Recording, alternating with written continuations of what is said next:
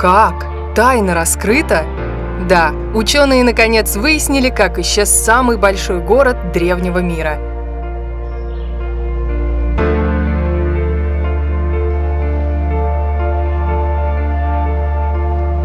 Вы наверняка слышали о столице империи Кхмеров, городе Ангкоре.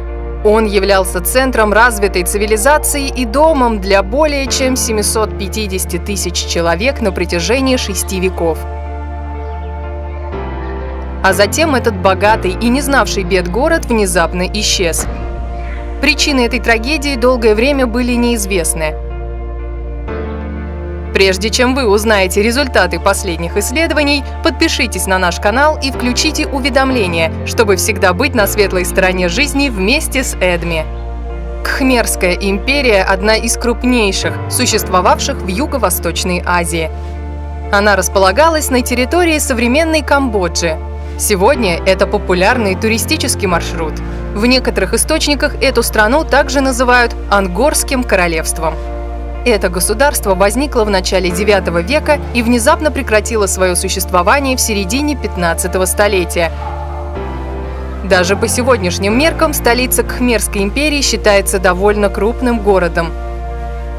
Су Такуан, который прибыл в Ангкор 1206 году и прожил там более года, писал, что этот город богат и прекрасен. По развитию он во многом опережал своих современников. Дипломат описывал храмы, украшенные позолотой, пускание фейерверков и величественные королевские приемы. Ангкор и впрямь был самым крупным городом, существовавшим в доиндустриальную эпоху. К несчастью, сегодня на его месте вы встретите лишь руины, затерянные в джунглях – Здесь осталось несколько храмов, лишь взглянув на которые вы лишитесь дара речи. Сейчас сложно догадаться, что некогда это был самый крупный город на Земле.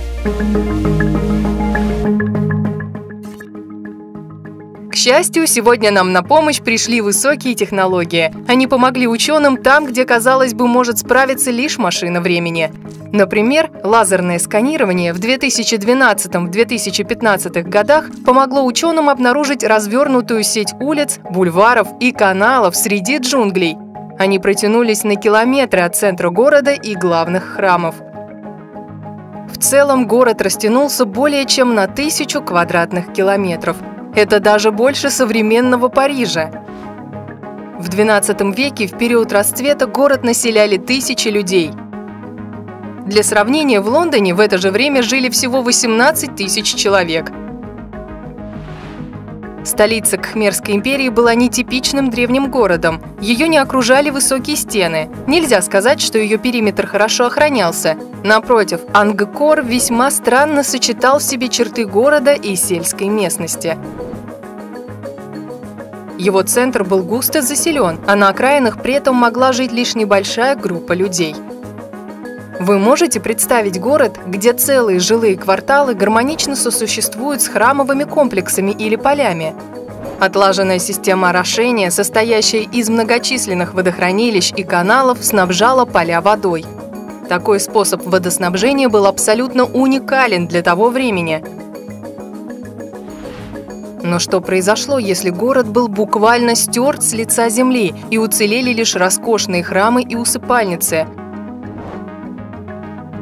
у ученых нет единого мнения по этому вопросу. Они по-разному объясняют причины заката кхмерской державы. Одни говорят о конфликтах с соседями, другие – о чрезмерной нагрузке на природу. Но недавнее исследование специалистов из Сиднейского университета натолкнуло ученое сообщество на заключение иного рода. Ученые считают, что люди, скорее всего, покинули Ангкор, потому что система городского водоснабжения вышла из строя. Как мы уже говорили, система водоснабжения города состояла из многочисленных каналов, резервуаров и плотин. Она позволяла снабжать население водой во время засухи и контролировать поступление воды во время сезона дождей.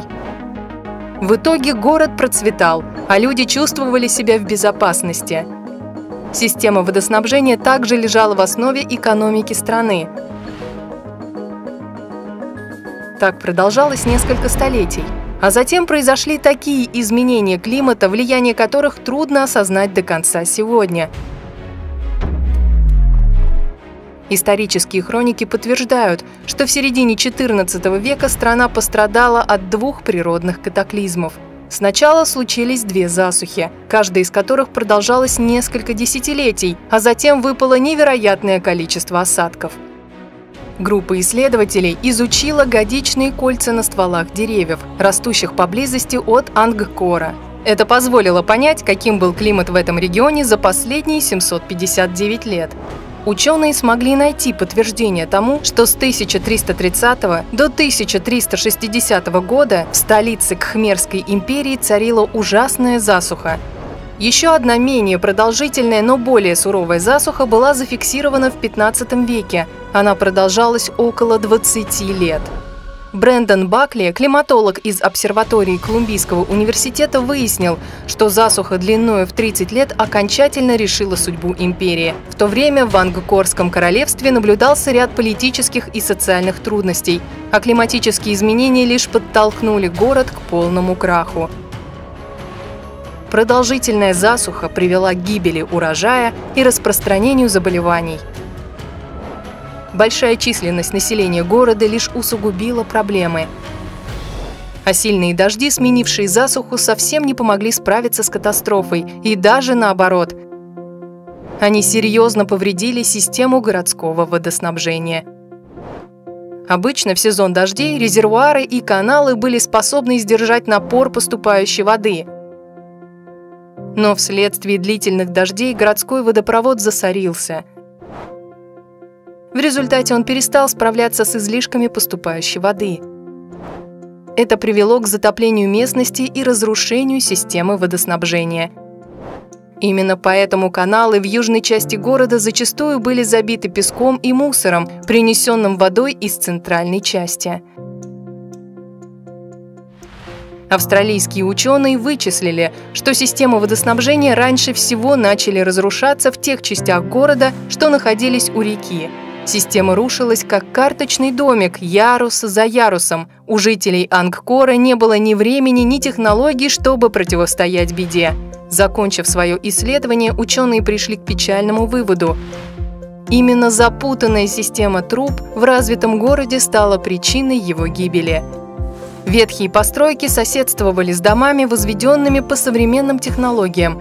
Строители рыли новые каналы, не учитывая существующее. Система стала уязвимой. Каждое здание сильно зависело от всех находившихся с ним по соседству.